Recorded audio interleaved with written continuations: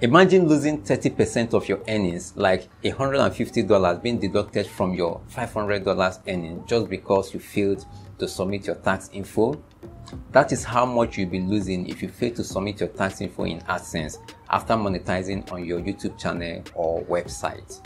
Now, to tell you how important this is, if you don't submit your tax info in AdSense, by the time you receive your payment into your bank account, Google would have already deducted 30% of your earnings as tax for the US government. And to avoid this massive deduction from your earnings, you have to submit your tax info in AdSense.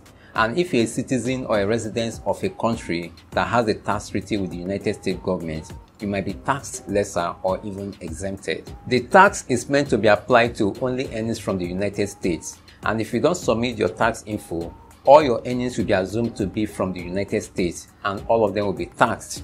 So to know how much you are earning from the United States alone on your YouTube channel, in your analytics, click on see more. Select the month from the date selector. Then click on geography, add the revenue metrics to the column.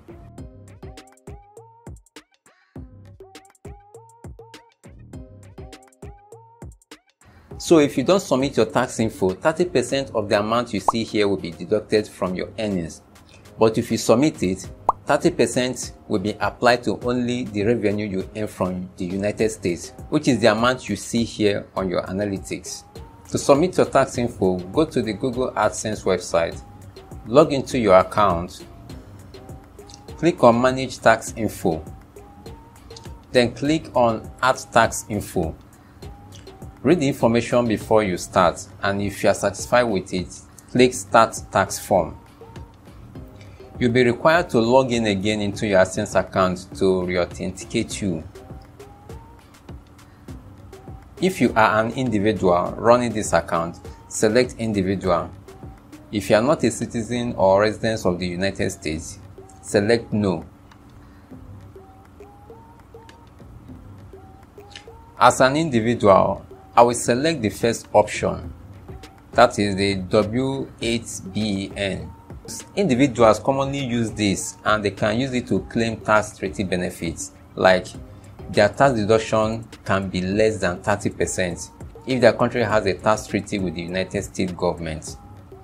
Then click Start W8BEN form.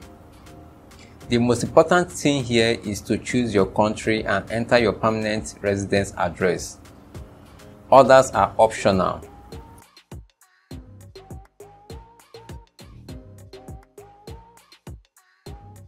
And if your mailing address is the same as your resident address, check this and click next to continue. If your country has a tax treaty with the United States, select yes and select your country to claim your benefits. As you can see here, Nigeria is not on the list because we don't have a tax treaty with the United States. So I will choose no.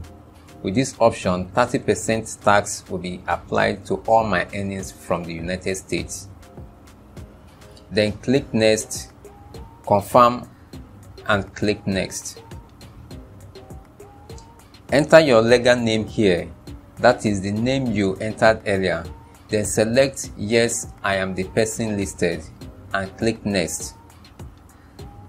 Have you ever performed activities or services for Google in the United States? Mine is no. Then check the I certify. Select the first option if you haven't used this AdSense account to receive payment before and click next. Whichever option you want to receive your tax info, select it here. For me, I would prefer to receive it in my email and click submit. As you can see here, the tax info status is approved. With the approved status, 30% of the earnings from my US audience will be deducted as tax before I get paid by Google. And if your country has a tax treaty with the United States, yours could be lesser or exempted. This is just a tutorial on submitting tax info in AdSense. For clarification on tax related issues, you can consult a tax expert and you can check the description for the link to Google's official webpage on this topic. To learn more about AdSense, don't forget to subscribe if you haven't and let me know in the comments if you have any question. Watch this video if you want to learn how to resolve the duplicate account error in AdSense. Thanks for watching. See you in the next one.